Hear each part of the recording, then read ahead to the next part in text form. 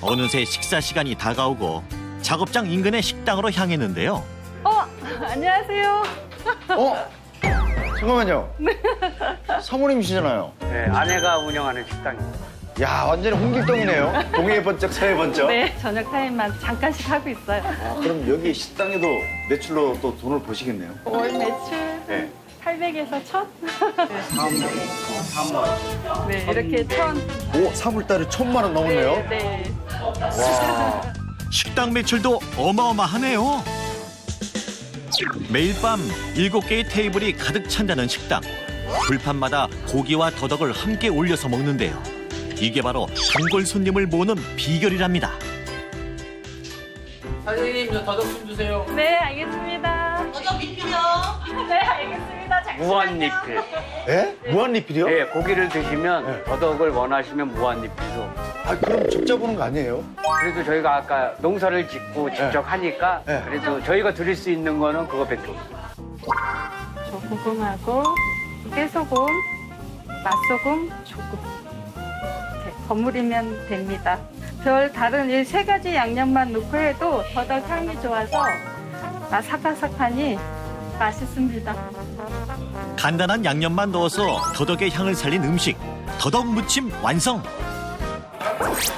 이제 본격적으로 배를 채울 시간. 두툼한 고기와 더덕 무침의 만남. 상인 씨 맛이 어떤가요? 와, 정말 꿀봐요.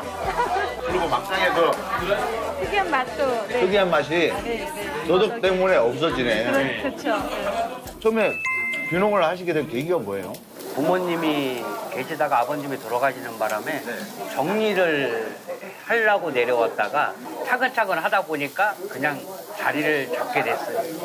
그러니까 처음에 내려왔을 때 돈을 잘 버셨어요? 제가 이 더덕보다는 아무것도 모르니까 사기도 맞고 이런 시절이 있었죠.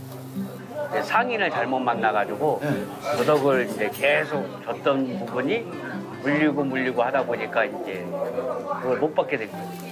아, 도덕은 줬는데 대금을 네, 못 받았다? 네. 그게 얼마 정도예요? 8천 정도 되죠. 8천만 원? 예.